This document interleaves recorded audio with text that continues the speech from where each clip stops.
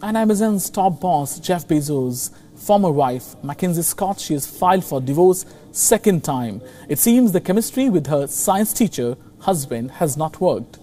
Now, Mackenzie was married to Jeff Bezos from 1993 to 2019, but walked away from her marriage to Bezos, pledging her half wealth to charity.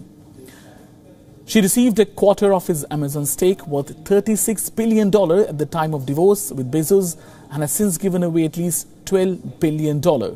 Scott's current fortune is estimated at $34.8 billion.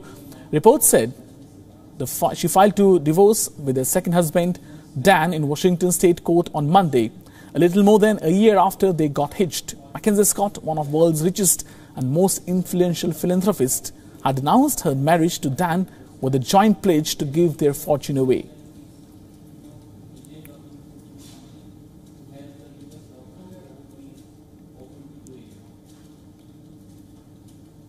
WION now available in your country. Download the app and get all the news on the move.